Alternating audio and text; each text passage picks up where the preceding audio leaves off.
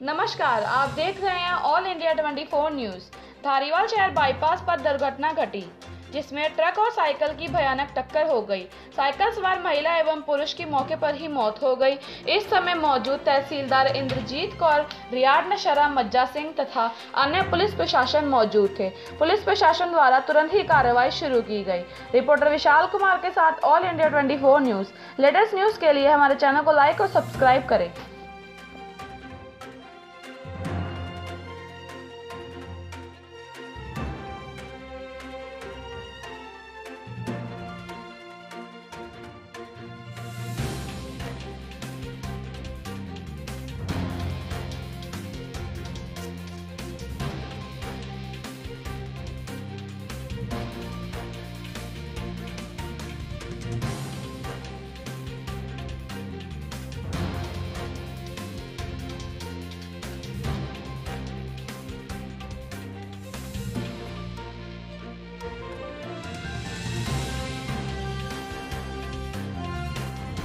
ਹਾਂਜੀ ma'am madam ਤੁਸੀਂ ਮੌਕੇ ਤੇ ਇੱਥੇ ਆ ਗਏ ਹੋ।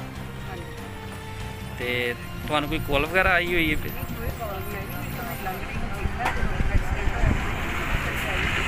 ਹਾਂਜੀ।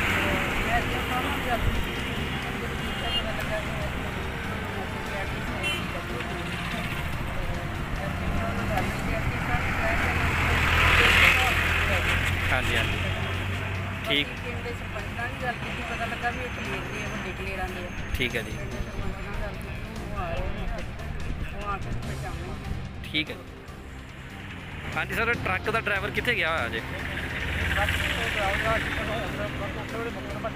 ਅੱਛਾ ਜੀ ਸਰ ਬਾਕੀ ਅਸੀਂ ਜਦ ਕੁੜੀਆਂ ਕੋਈ ਗੱਡੀ ਸੱਦ ਲਈਆਂ ਨੇ ਠੀਕ ਹੈ ਸਰ ਤੇ ਟਰੱਕ ਨੂੰ ਜਿਹੜਾ ਡਰਾਈਵਰ ਦਾ ਇੰਤਜ਼ਾਮ ਕਰਕੇ ਥਾਣੇ ਤੇ ਪਹੁੰਚਾਤਾ ਠੀਕ ਹੈ ਸਰ ਤੇ ਸਰ ਡੈੱਡ ਬੋਡੀਆਂ ਜਿਹੜੀਆਂ ਵਾ ਇਹਨਾਂ ਦਾ ਕੋਈ ਹਜੇ ਤੱਕ ਪਤਾ ਲੱਗਾ ਕਿ ਨਹੀਂ ਉਹ ਨਹੀਂ ਅਜੇ ਕਲੀਅਰ ਨਹੀਂ ਹੋਣ ਡਿਆ ਪਰ ਬੰਦੇ ਬੰਦੇ ਸਾਡੇ ਪਤਾ ਕੇ ਚੱਲੀਏ ਠੀਕ ਹੈ ਸਰ। ਹਾਂਜੀ। ਜਾਓ ਜਿਹੜਾ ਉਹ ਵੀ ਮੌਕੇ ਤੇ ਫੜ ਖੜ ਕੇ ਭੱਜ ਗਿਆ ਵਾ। ਤੁਹਾਡੇ ਬੰਦੇ ਗਏ ਆ ਲਗਾ ਬੜੀ ਉਹਨਾਂ ਨੂੰ ਮੋਬਾਈਲ ਤੋਂ ਪਤਾ ਲੱਗਾ ਵੀ ਫੇਰ ਪੈਣਗੇ ਆ ਉਹ ਨਹੀਂ ਪਤਾ ਕਰਨ ਗਏ। ਇਹ ਨੰਬਰ ਪਤਾ ਹੈ ਉਹਦਾ ਨੰਬਰ ਇਹ ਦੋਵੇਂ ਬੰਦੇ ਕਿ ਜਾਂ ਦੋਨੋਂ ਲੇਟਸ ਸੀ? ਨਹੀਂ ਇੱਕ ਆਦਮੀ ਆ ਇੱਕ ਲੇਡੀ ਆ। ਇਹ ਦੋਨੋਂ ਮੌਕੇ ਤੇ ਮੌਤ ਹੋ ਗਈ। ਦੋਵੇਂ ਆ ਮੌਕੇ ਤੇ ਮੋੜ ਤੇ ਟਰੱਕ ਡਰਾਈਵਰ ਜਿਹੜਾ ਜੀ ਉਹ ਫਰਾਰ ਦੀ ਮੌਕੇ ਤੋਂ ਹੀ ਉੱਤੇ ਭੱਜ ਗਿਆ ਜੀ। ਤੁਹਾਡੇ ਲੋਕੀ ਕਾਰਵਾਈ ਹੋ ਰਹੀ ਹੈ? ਸਾਡੇ ਉਹ ਬਸ ਅਸੀਂ ਦੇ ਰਹੇ ਹਾਂ ਪਤਾ ਦੇ ਕੇ ਤੇ ਅਗਲੀ ਗੱਲ ਵੀ ਸ਼ੁਰੂ ਕਰਨੀ ਹੈ